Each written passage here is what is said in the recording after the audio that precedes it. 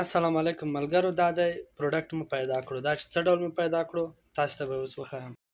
د امازون د اربیتراج بزنس لپاره مونږ راځو لوکل مارکیټ ته دلته ارزانه شیان اخلو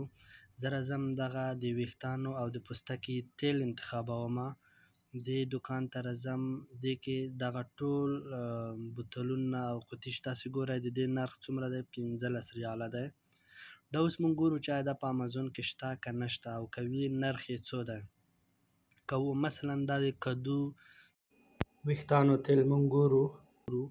چې دا یا په امازون کې شته که نه که و دغه قطعه اوس دلته 15 ریال قیمت لري امازون کې ګورو چې په څو ریال دی هلته دغه برکوډ سکن کوو دغه دی دا په امازون کې شته دی د دې قیمت دی 15 ریاله نو په یو حساب دا نفر ښه ګټه کوی شي. ځکه که د دې پروډکټ قیمت حد اقل 15 ریال یا 14 ریال حساب کړو او 8 ریال د امازون ویر هاوس پسې چارج کړو چې دا کیږي تقریبا 20 الی 25 ریال په دې مینځ کې له 25 چې 25 ریال منفي کې 10 ریال یعنې دا نفر په یو قوطي کې 10 ریال ګټي. خو سره زو مونږ یو بل پروډکټ ګورو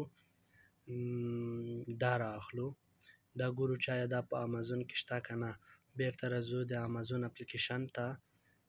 دا خلاصو د هغه کونج کې د کمره چې ده د سکن هغه وهو ګورو یې چې دا پروډکټ په د امازون کې شته که نه ښه اوس دغه د سکن شو نه دا نشته اوس مونږ کولای شو دغه په امازون کې لیست کو په امازون له طریقې خرڅ کو دا چې څه ډول لیست کېږي څه ډول مونږ اپاینټمنټ ورته نیسو امازون ویر هاوس ته وړو په راتلونکو ویډیوګانو کې له مونږ سره وګورئ